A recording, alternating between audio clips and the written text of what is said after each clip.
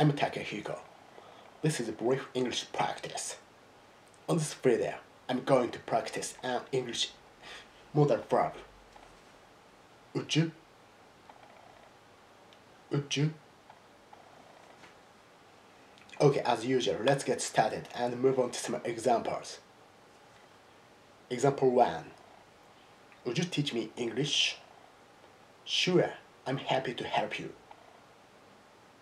Okay, next. Example 2.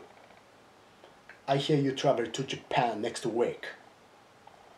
Yeah, but actually, I'm a bit nervous. Would you give me some tips for traveling to Japan, please? Anyway, that's it from me.